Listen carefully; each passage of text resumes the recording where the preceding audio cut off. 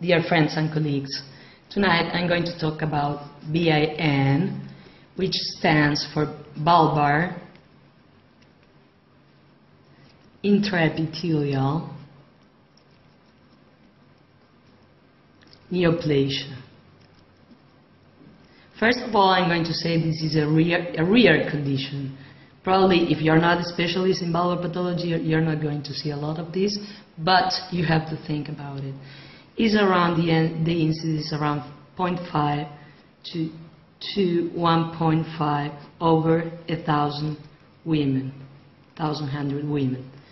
So this incidence has risen in the last years, and but we, we, if this was the precursor of cancer, if this really was the precursor of cancer, vulvar cancer should have risen too, but it hasn't in the last decades. So, vulvar intraepithelial neoplasia, when it was first uh, classified, it was in analogy, that this was in 1986, it was in analogy with the cervical CIN terminology. Yeah, CIN 1, 2, and 3, right? 2, VIN 1, 2, and 3. But the vulva is not probably not the same than the cervix. First of all, the vulva has no transformation zone. There's no changes of lining of epithelium. There's all the same squamous, stratified, and also with keratin in some areas, epithelium. So it's quite different. Also, lesions for, of HPV in the vulva with the virus of HPV act quite different than in the cervix. There's also, of course, there's HPV in the vulva, of course there are cancer precursors in the vulva, but they are quite different than they are in the cervix. So, this was revised and this was also uh, acknowledged that this is not different. Why was that? Because VIN1, VIN1 is a really poorly reproductive lesion. What happens with VIN1 is only a viral infection, which is usually transient, which is usually going to go away by itself and it's probably not going to cause any problems and never, never is going to progress to cancer, which is where we are worried about. So, if we are talking about VIN, VIN, like neoplasia, we have to talk about cancer precursors. So this classification changed in 2004 in a meeting of the International Society for the Study of Vulvovaginal Disease, ISSVD, that just took out VIN from the classification VIN1 as a cancer precursor, and they just left it as VIN. So all high grade is just VIN, not VIN 2 or 3, just VIN. As etiologies, like precursors of vulvar, squamous cancer.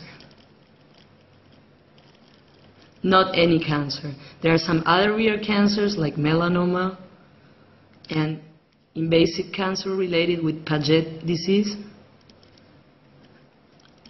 which are rare, but we're going to talk about the precursors of squamous vulvar cancer precursors. So we have two types which I am going to call them day are night and night for us to remember because they are quite different entities. They are really, really opposite entities. So now I'm going to talk about the differences of these two VINs. First of all, they have a different name. So, the most common type of VIN, which is usual type, day, which is a little bit better, and the least common, which is the differentiated type, whose name is quite confusing because it says it's differentiated and is actually the worst kind because it has much more cancer progression potential, right? So, usual type VIN is 90% of VIN. So if we read something in the literature and we are not what they are talking about on where they don't make any difference, they are probably talking about this or mostly about this because this is the most common. And then this is the least common VIN, which is around 10%. So the usual type VIN has an association with HPV virus. Usually the high risk types, right?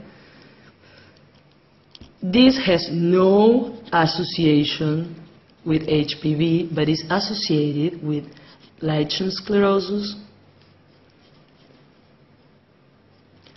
and hyperplasia,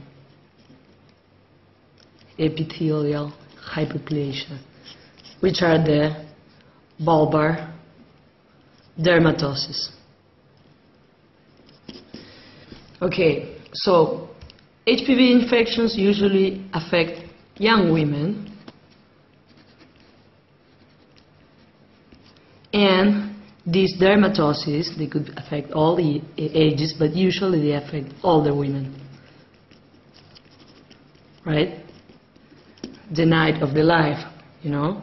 The day of the life, young, the night, older women. Right? They are also very different how they present.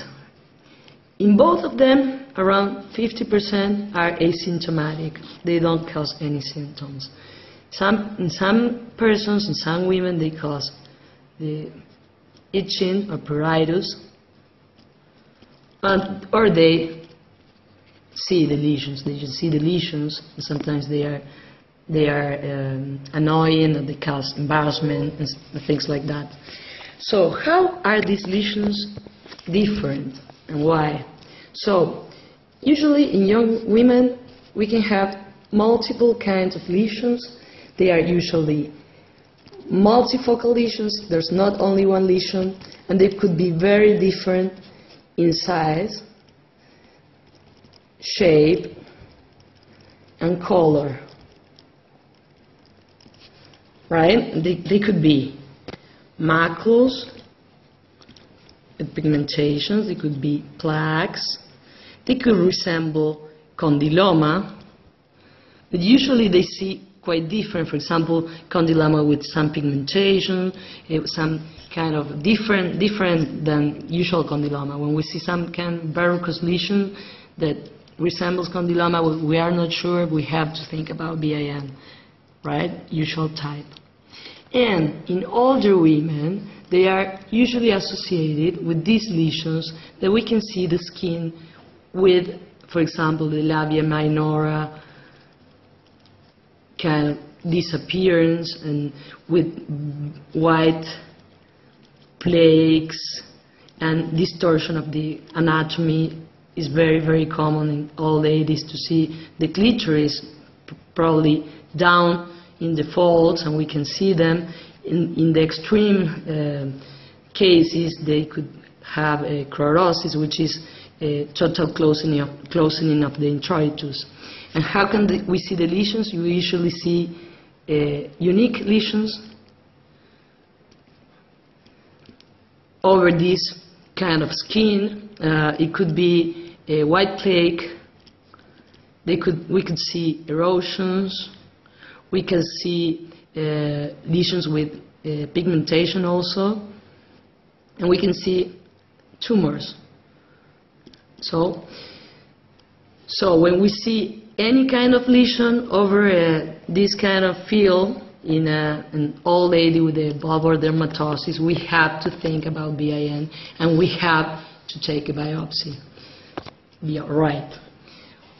Once we have the diagnosis, usually if we have any doubt, we have to do the biopsy in both of them, right? And to start treatment, we have to do the biopsy because we need to have, we need to know if this is VIN. So once we have the biopsy, the treatments are also going to be very different. We could also be the same, right? They could be, we could use very different treatments. So in the usual type VIN,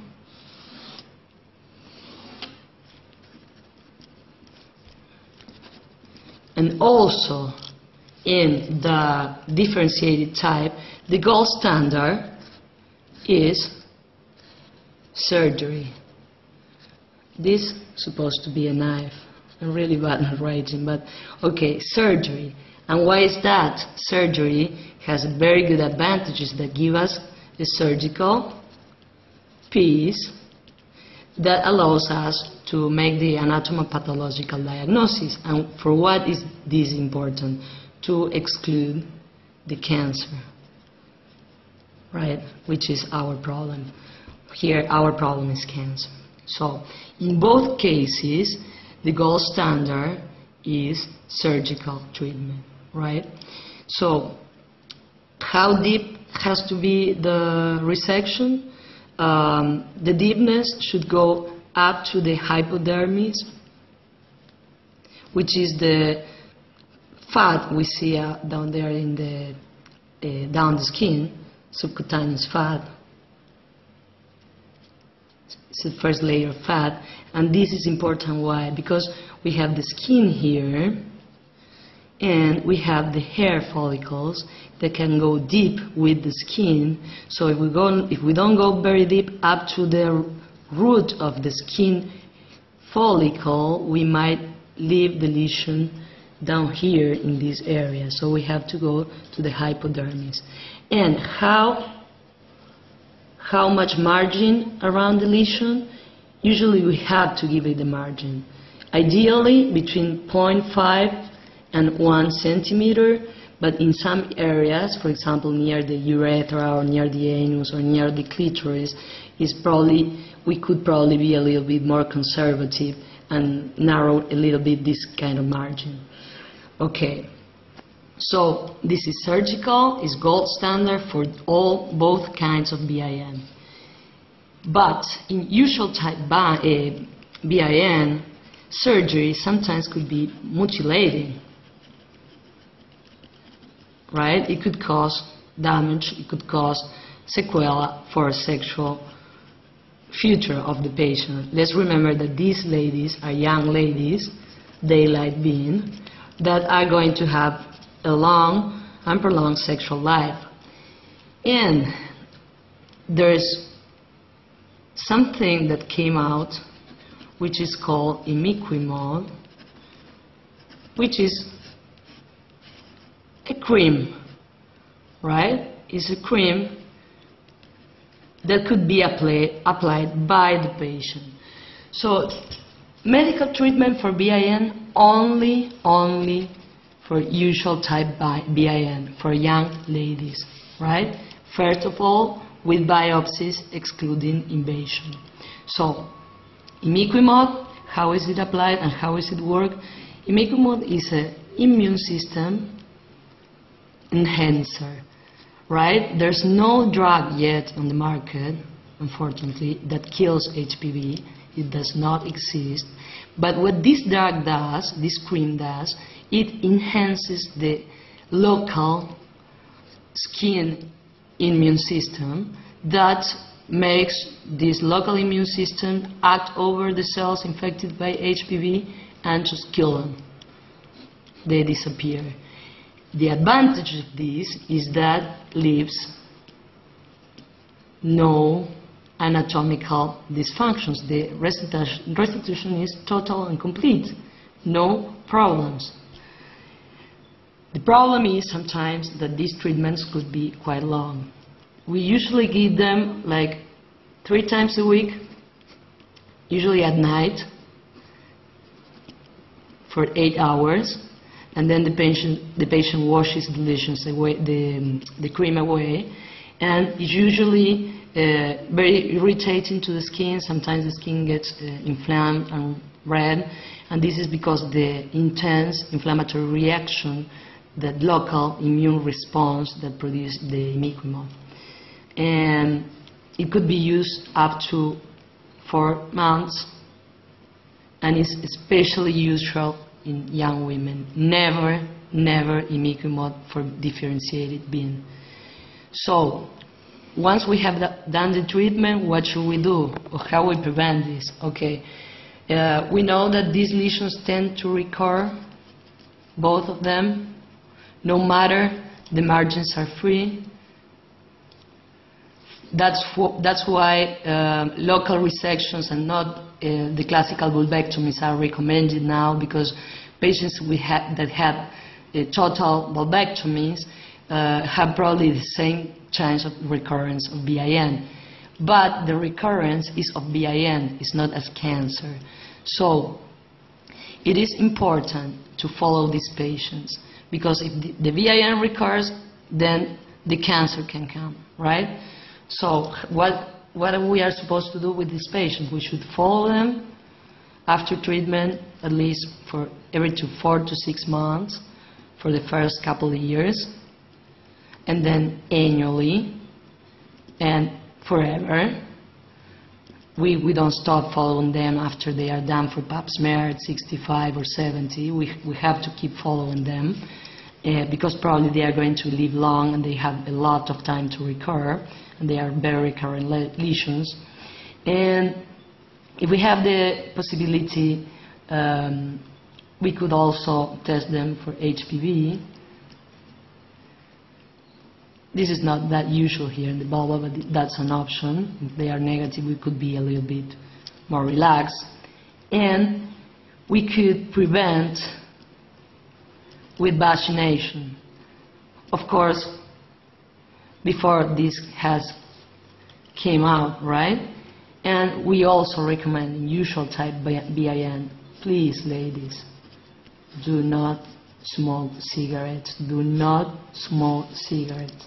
Cigarettes are well-known factor that uh, is related to the recurrence and the occurrence of VIN usual type. And so, to remember, this is 90% of VIN and produces around 20 to 30% of vulvar cancer, and this is 10% of VIN and is around 80% responsible of the cancer. So we have to look at this, especially these ladies, they are not going to come to us because many of them, 50% of them, are asymptomatic, no symptoms. So let's look at them and if what, do, what to do about uh, treatment of uh, vulvar dermatosis, lichen lichen sclerosis, we have to treat them. We have to treat them to prevent the deformities. We don't know if treatment is going to prevent the cancer, but we do think that we have to treat them.